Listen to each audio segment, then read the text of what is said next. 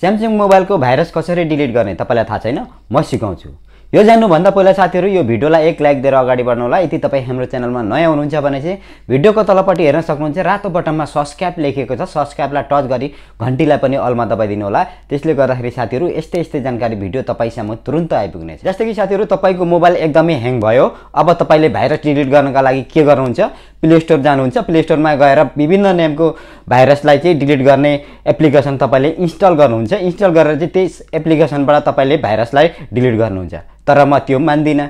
किनकि साथीहरू तपाईँले तु जुन डाउनलोड गरेर एप्लिकेसन ल्याउनुहुन्छ त्यसबाट तपाईँले भाइरस डिलिट त गर्नुहुन्छ तर केही छिन केही बेरपछि तपाईँको त्यही एप्लिकेसनले नै तपाईँको मोबाइललाई एकदम ह्याङ गराइरहेको हुन्छ साथीहरू। जबकि तपाईँको मोबाइल एकदम ह्याङ भयो अब तपाईँको मोबाइलको भाइरस डिलिट गर्नुपर्ने भयो तपाईँको मोबाइलमा अलरेडी अप्सन हुन्छ। कसरी? भिडियो सुरुदेखि लास्टसम्म हेर्नु होला म तपाईँलाई एकदम इजी तरिकाले बताउने छु स्यामसङ फोनको भाइरस डिलिट गर्नका लागि चाहिँ साथीहरू तपाईँ यसो गर्नु होला स्क्रिनमा फोकस गर्नु होला साथीहरू। सर्वप्रथम तपाईँ कहाँ जानुपर्ने हुन्छ? तपाईँको मोबाइलको स्यामसङ मोबाइलको भाइरस डिलिट गर्नको लागि कहाँ जानुपर्ने हुन्छ? तपाईँ सेटिङमा जानु होला सेटिङमा सेटिङलाई टच गर्नु होला जस्तै मैले मेरो मोबाइलको सेटिङलाई टच गरेँ। जस्तै सेटिङलाई टच गरिसकेपछि हाम्रो मोबाइलमा यस्तो खालको इन्टरफेस आउँछ। अब यहाँनिर तपाईँले के गर्नुपर्ने हुन्छ?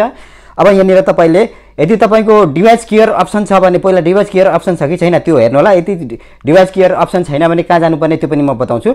सबभन्दा पहिला यहाँनिर डिभाइस केयर खोज्नु होला। यहाँ तलमाथि कहीँ पनि हुनसक्छ। डिभाइस केयरलाई त तपाईँले टच गर्नु होला। जस्तै कि मेरो मोबाइलमा डिभाइस केयर छैन डिभाइस केयर नभएको खण्डमा चाहिँ के गर्ने त्यो पनि म बताउँछु। तर यहाँ मेरोमा छैन। तपाईँको मोबाइलमा डिभाइस केयर हुनसक्छ। त्यो डिभाइस केयरलाई तपाईँले टच गर्नु होला। टच गरिसकेपछि तपाईँलाई क्लिङ भनेर निलो एउटा बक्स पनि आउँछ। त्यसमा तपाईँले टच गर्नु होला। त्यसमा टच गरिसकेपछि तपाईँलाई फेरि अर्को पप विन्डो आउँछ। सेक्युरिटीमा जानुपर्ने हुन्छ। तपाईँले सेक्युरिटीलाई टच गरेर तपाईँले भाइरस डिलिट गर्नुको लागि चाहिँ सेक्युरिटीलाई टच गरेर चाहिँ ग्रिन बटन आउँछ त्यहाँ पनि। त्यो ग्रिन बटनमा क्लिङ भनेको हुन्छ त्यो क्लिङ गरिदिनु होला। र त्यसपछि हामी हाम्रो मोबाइलमा चाहिँ यहाँ के छैन? डिभाइस केयर छैन। अब हामीले यस्तो अवस्थामा चाहिँ कहाँ जाने त? यहाँ स्मार्ट म्यानेजर भनिएको छ। यो स्मार्ट म्यानेजरलाई तपाईँले टच गर्नु होला तपाईँको डिभाइस केयर छैन भने स्मार्ट म्यानेजर हुन्छ। स्मार्ट म्यानेजर छैन भने डिभाइस केयर हुन्छ।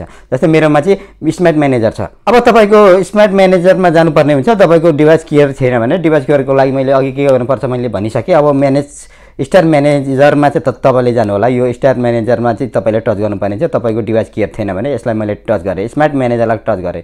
अब तपाईँको मोबाइलमा यस्तो इन्टरफेस आउँछ। अब यहाँ तपाईँले पहिला स्टोरेजलाई तपाईँ क्लिक गर्नुपर्ने हुन्छ। यहाँ टपमा आएको छ। स्टोरेजलाई क्लिक टच गर्नु होला स्टोरेजलाई मैले क्लिक क्लिक गरेँ। अब यहाँनिर क्लिङ नाउ भनेको छ। यसलाई टच गरिदिनु होला अब कन्फर्म गरिदिनु होला कन्फर्म गरेँ मैले। अब यो हाम्रो स्टोरेज क्लिङ भयो। अब हामी ऱ्याम पनि क्लिङ गर्नुपर्ने छ जस्तै अब ऱ्याम क्लिङ गर्नको लागि चाहिँ ब्याग जाने चाहिँ एकचोटि यहाँनिर स्टोरेज लेखेको ठाउँमा तपाईँको तिर्को एरो छ यसलाई तपाईँले टच गर्नु होला अब हामी यहाँनिर मेमोरी लेखेको छ यो मेमोरी चाहिँ तपाईँको ऱ्याम हो। यो ऱ्यामलाई चाहिँ हामी साफ गर्नुपर्ने हुन्छ। तपाईँले एकदमै यो चाहिँ जरुरी छ तपाईँ गेम खेल्नुहुन्छ भने मोबाइलमा गेम खेल्नुहुन्छ भने चाहिँ तपाईँले दिनमा एकचोटि यो क्लिङ गर्नै पर्ने हुन्छ ऱ्याम चाहिँ।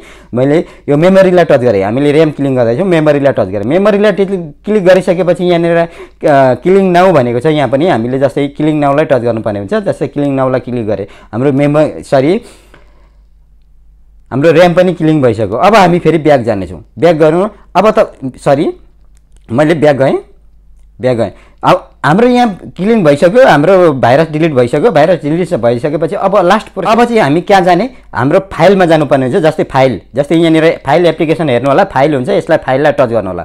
फाइललाई टच गरिसकेपछि हाम्रो मोबाइलमा यस्तो खालको इन्टरफेस आउँछ। अब यहाँनिर पनि तपाईँले क्लिङ गर्नुपर्ने हुन्छ। ब्राउजर छ सेयर छ यहाँ क्लिङ क्लिङलाई पनि तपाईँले टच गर्नुपर्ने हुन्छ। क्लिङलाई टच गरिसकेपछि यहाँ मेरोमा आएन। यहाँनिर तपाईँको यहाँनिर के आउँछ? क्लिङ भनेर आउँछ। तपाईँले क्लिङलाई टच गर्नु होला।